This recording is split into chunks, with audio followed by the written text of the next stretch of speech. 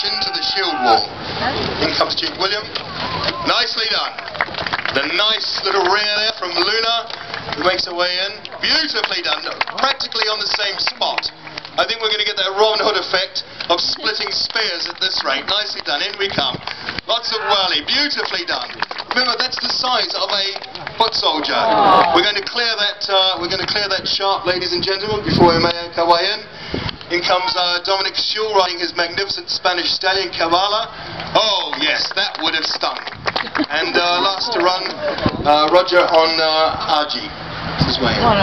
Again, bearing in mind, of course, we're riding one-handed and we've got a shield on our left arm, destroying whatever balance we have. And nicely done, nonetheless.